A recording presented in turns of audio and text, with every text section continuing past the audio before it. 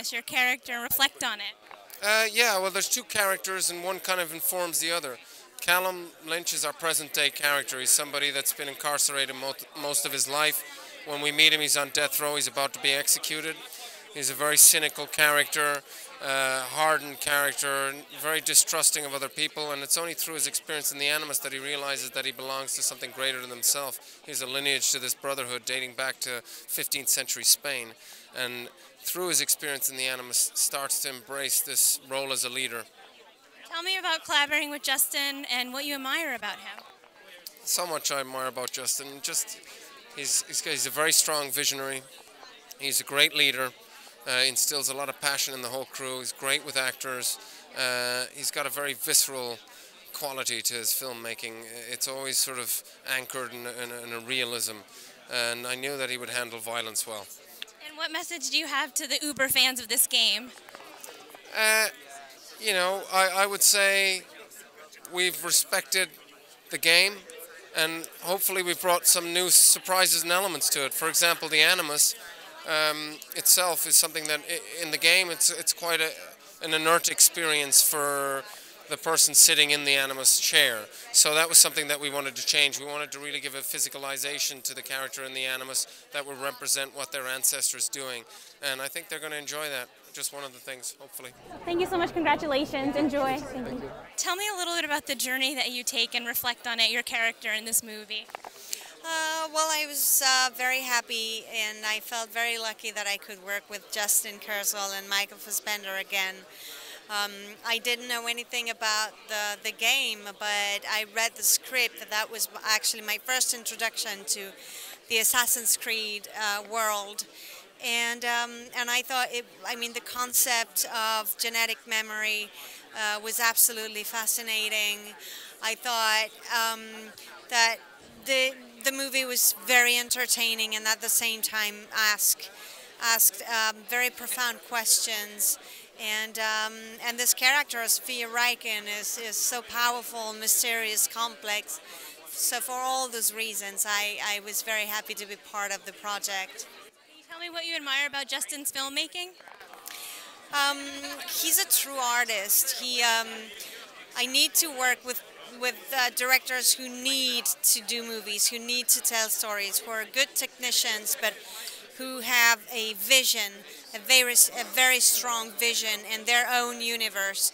They, uh, they, you know, and um, and he's an amazing director for actors, one of the best I, I worked with. Um, tell me about what, what attracted you to the project well, the, main thing that attracted me to the project was the cast. I'm a huge fan of Michael and Marion, and when I watched um, Snowtown, Snowden Town Boys, I, like I was immediately traumatized, and I knew that I had to work with Justin.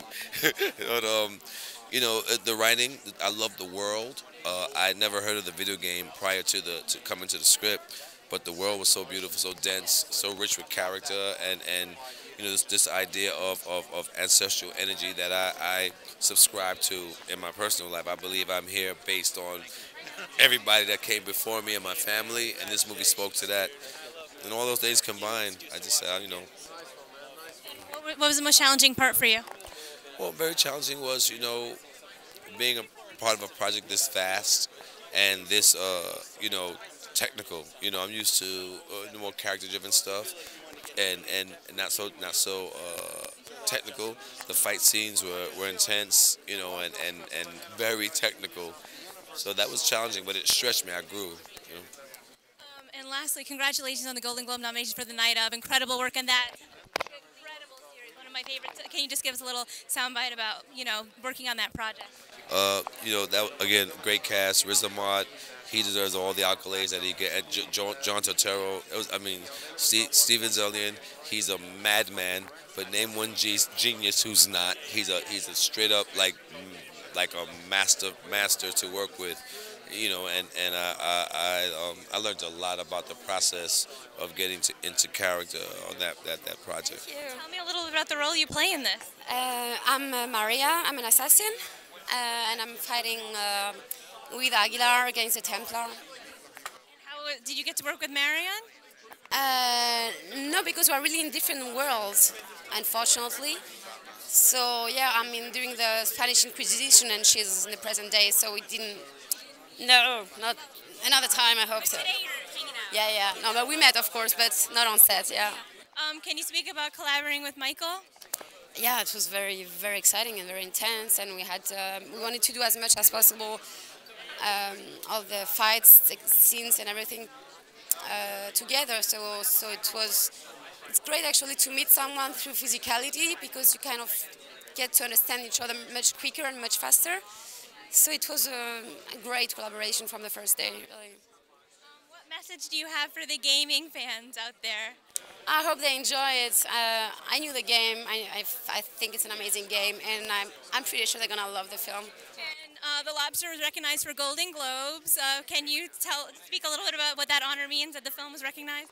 Ah, it's great. Of course, it's uh, it was a huge surprise, and uh, yeah, no, I mean, what can I say? It's uh, we're hoping for it, and we're so happy.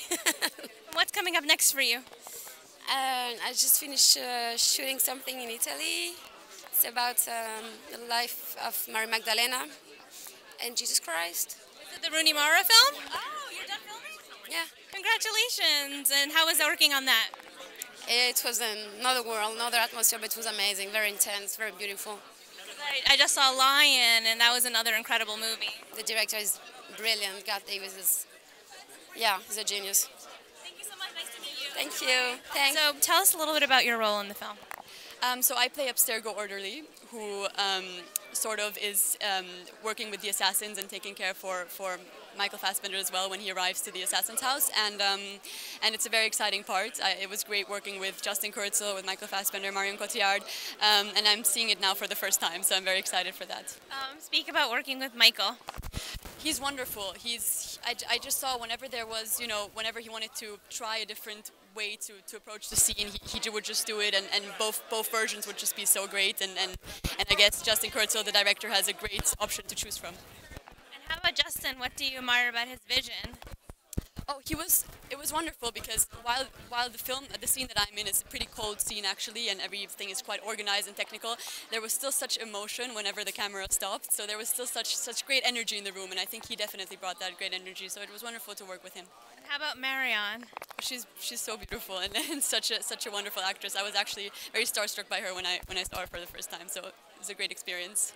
Tell us a little bit how you got your start in acting. I saw you were in theater in Europe. You started in a lot of theater production. Tell us about that. Um, so I started in yeah with theater in Europe and um, and did two or three plays every year um, in Paris, in Germany, and in Austria. And then um, I did my first film a year and a half ago called The Carer. Um, and after that, I did another play, which was also on TV, and then Assassin's Creed. So let's hope that it goes on this way. Then I would be very happy. and you're currently studying at NYU. Exactly. I'm studying political science at NYU. This is in between exams, so it's the perfect. It's, I went to NYU actually. oh, I'm at Gallatin. Where did you go? CAS. Oh, amazing. Yeah, it's finals week, and this is a great distraction. What, what, what do you hope to do next? What are you looking forward to? Um, I just think projects that, that generally interest me, where I can read the script and where I can think that this is something I would love to be a part of. I think that's always that's always the most important part to me. Um, and to work with, with, with such great people such as Michael Fassbender or Marion Cotillard, I mean that was that was really really special. Congratulations. Enjoy the. Thank you so much. Thank you.